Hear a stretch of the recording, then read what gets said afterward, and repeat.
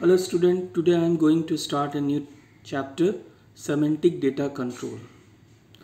In semantic data control there are three topic view management, data security and integrity control in which I will explain you view management first. But before starting view management I will explain you what is semantic data control. Semantic data control typically include view management, security control, semantic integrity control. Informally, these functions must ensure that authorized user perform correct operation on the database contributing to the maintenance of database integrity. Now, in the relational framework, semantic data control can be achieved in a uniform fashion. View security constraint and semantic integrity constraint can be defined as a rule that the system automatically enforce.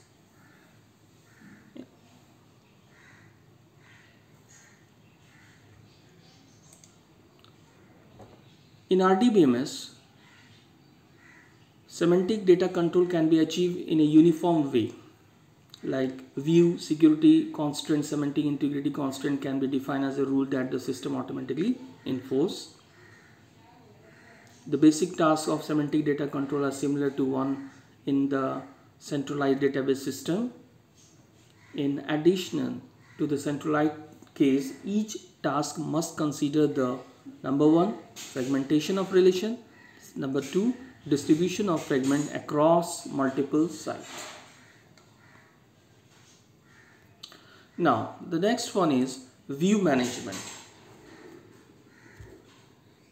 In a relational system, a view is a virtual relation defined as the result of a query on base relations but not materialized like a base relation which is stored in the database. A view is a dynamic window in the sense that it reflects all update to the database. An external schema can be defined as a set of view and also base relations. Beside their use in external schema, view are useful for ensuring data security in a simple way. By selecting a subset of database, a view hides some data. If user may only access the database through the view. They cannot see or manipulate the hidden data which are therefore secure.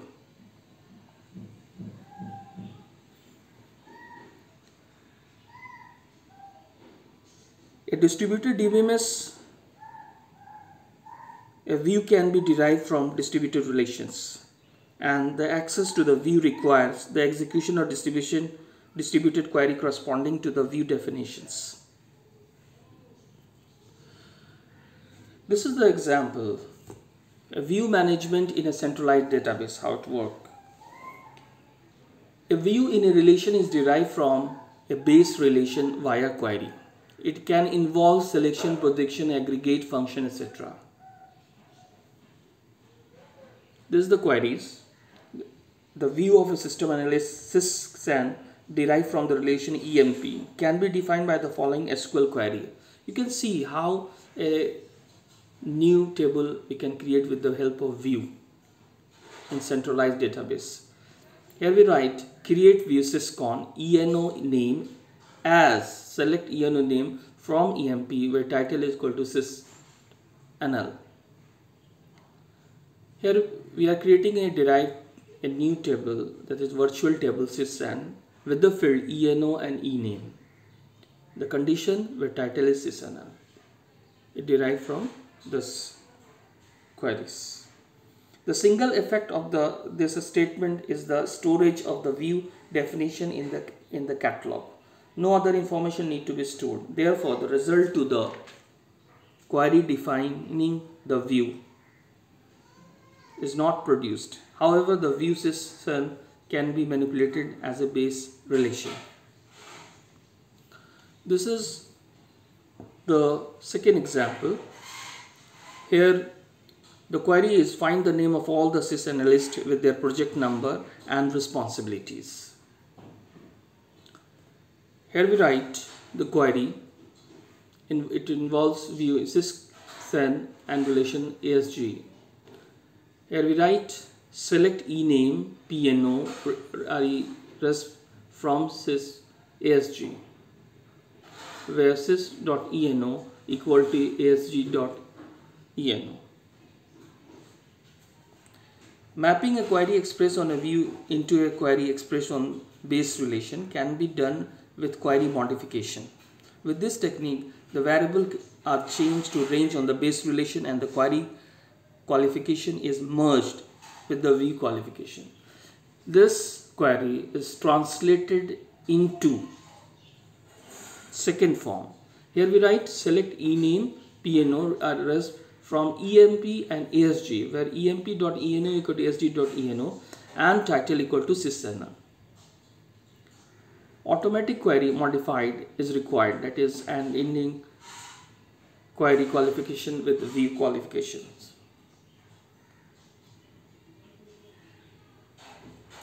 View management in centralized database. This is the third example all view can be queried as base relation but not all the view can be updated as such. Update through a view can be handled automatically only if they can be uh, propagated correctly to the base relations. We classify view as updatable and not updatable. Here we are explaining one by one. The first one is updatable view. View can be defined by using arbitrarily complex relational query involving selection, projection, join, aggregate, function and so on. All view can be integrated as base relation but not all the view can be manipulated as such. Update through view can be handled automatically only if they can be propagated correctly to the base relation. We can classify view as being updatable and not updatable a view is updatable only if the update to the view can be propagated to the base relation without ambiguity. Here we are creating uh, a new table with the help of view commands. Create view sysan ENO name as select ENO name from EMP or title getna. Updatables.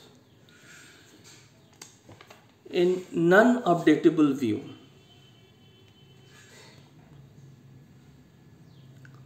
The update to the view cannot be propagated to the base relation without ambiguity.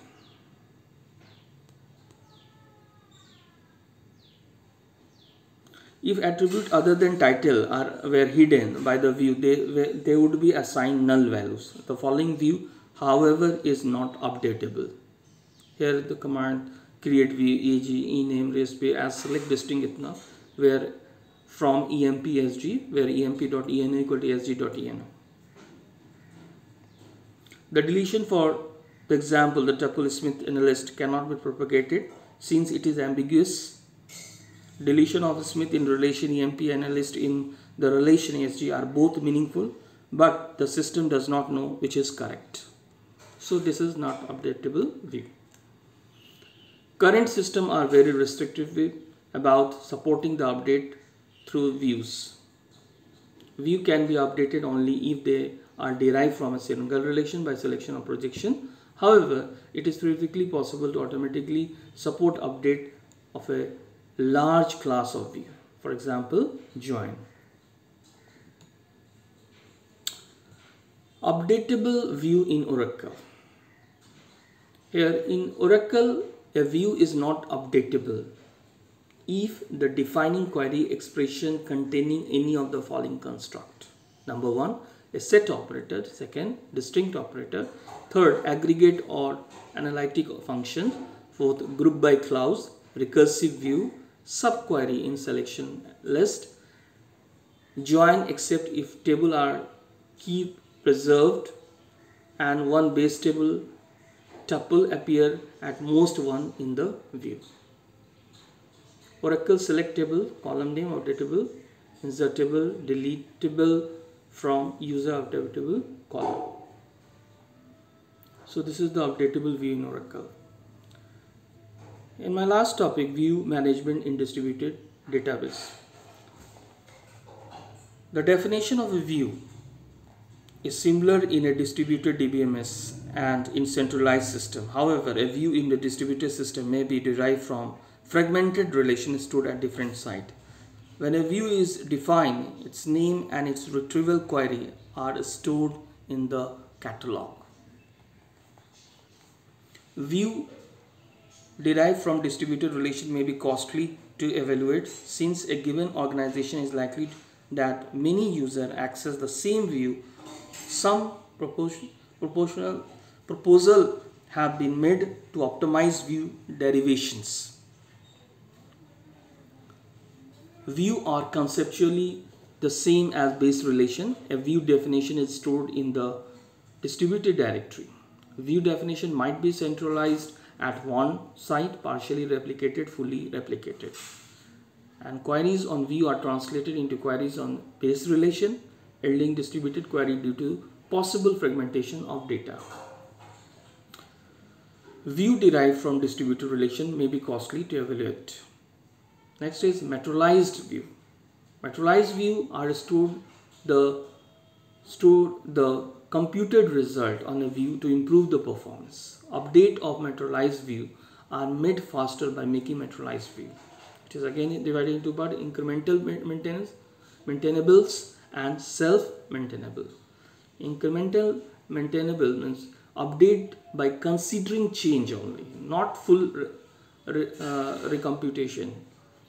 And in self-maintainable means updated by considering only the view and delta relations. I hope you all understand uh, what is uh, semantic data control and what is view management. Thank you for watching my video lecture. Thank you.